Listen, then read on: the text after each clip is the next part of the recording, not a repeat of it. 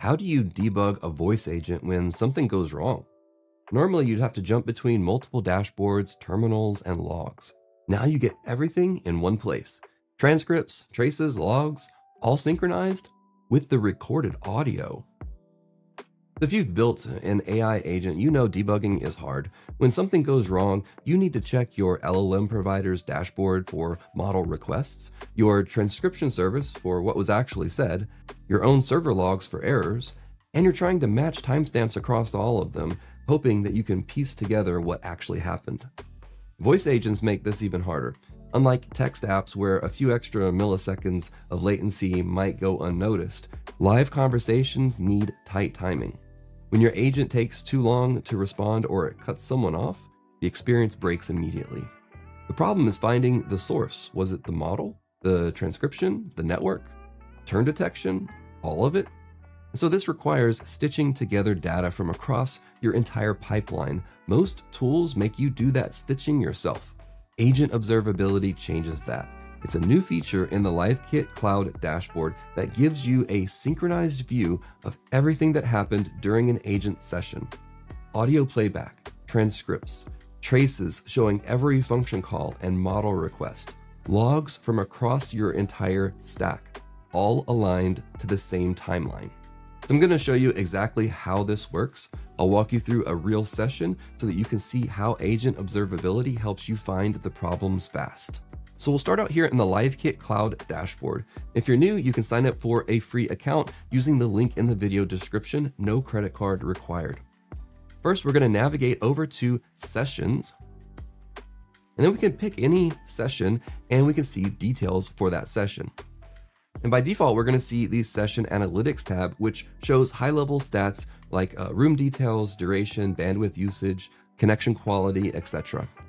At the top though, you'll see two tabs, Session Analytics and Agent Insights. Let's click on Agent Insights. So at the top here, we see the audio player with playback controls, so we can play, skip, pause, all the good stuff. And then below that, we see the audio waveform. So we can see when speech occurred, and of course we have the playhead as well that we can drag across the timeline. Now above the waveform, you'll see three different tabs, transcript, trace, and logs. We're going to start here with the transcript tab that we're already on. And the transcript view shows the conversation timeline. You can see exactly what was said, when it was said, and who said it. And each message is timestamped and aligned with the audio playback. And as we scroll through here, you can see uh, inline alerts highlighting important events, agent handoffs uh, showing when control is passed from one agent to another, tasks handoffs show when an agent moved to a different task, and tool calls show when your agent executed a function, all right here displayed in the transcript when they occurred. And the really cool thing is you can click on any one of these and it will automatically jump to that point in the timeline. And we get all these extra details here, all the attributes and the details that were included with this portion of our transcript. We also see transcript confidence scores right here in line for each user message. And this helps you understand how certain the transcript was about uh, what the user said. And as we scrub through the audio, we can see that the transcript timeline keeps up with us. So very useful. And again, we can click on any one of these and we can see the details here on the side as well. Let's go ahead and listen to a bit of this and see what exactly happened. Hello. Thank you for joining the interview today. My name is Alex, and I'll be your interviewer. To start, could you please introduce yourself and let me know your name? Hey Alex, I'm David. All right, well, that's enough. Hey, really quick, if this video was helpful, give it a like and subscribe for more LiveKit videos. So now let's move over to the Traces tab. The Trace tab shows what happened under the hood for each turn in the conversation. For each agent response, you'll see a node showing a full uh, request and response. And this includes your LLM calls, TTS requests, end of turn detection, and any tool calls your agent made. So we can click on these, again, see those attributes, and then here's the agent turn, and we can see all the things that it did. Here's the LLM node details, here's the TTS node details, and when the agent was speaking. If we go further in this uh, trace, we can see there were some errors here.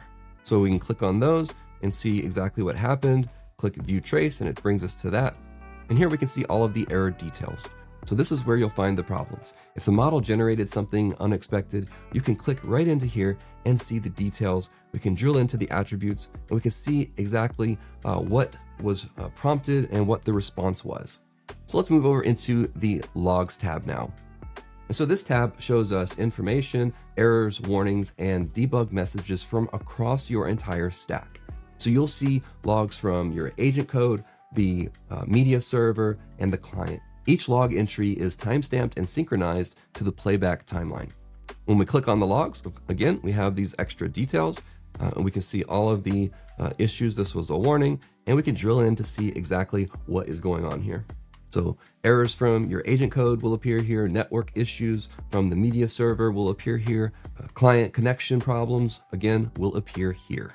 And this is powerful because you can see logs from all three sources at the same time. If the client disconnected, you can see if the media server noticed it too. And so together, these three views give you complete visibility.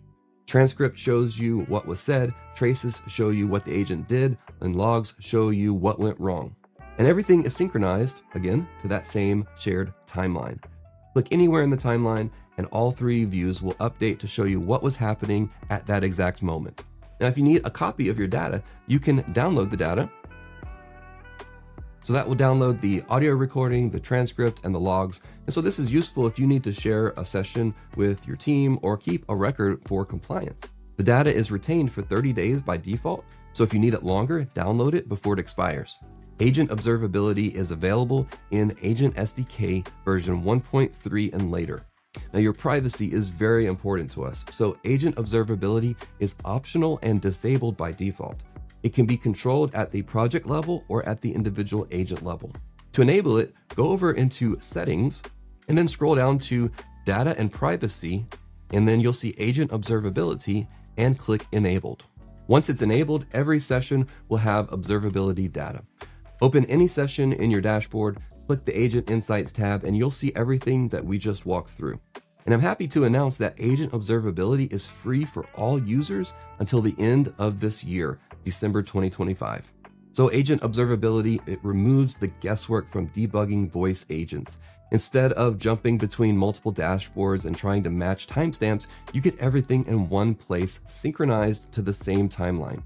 You can see everything at the same time, hear the audio while reading the transcript, you can see the traces while listening to the response, and you can check the logs while scrubbing through the timeline. This works whether you're debugging uh, slow responses, investigating why an agent interrupted a user, figuring out why a tool call failed, or optimizing latency across your pipeline. And because LiveKit handles the full voice AI stack, we know everything that happened. We know uh, what your agent was configured to do. We know what data was sent and received. And we know the end to end latency across the LiveKit cloud network. And that's information that you can't get by piecing together data from multiple providers. So, the fastest way to understand what your agent is doing is to see it in action. Deploy an agent, open a session, and click the Agent Insights tab. And if you want to give it a try, again, the link is in the video description. And if you observe something interesting with agent observability, I'd love to hear about it. If you run into any issues, you have any questions, or you just want to share some feedback, please join our community Slack channel. Link is in the video description. And if this video was helpful, please give it a thumbs up and subscribe for more content like this.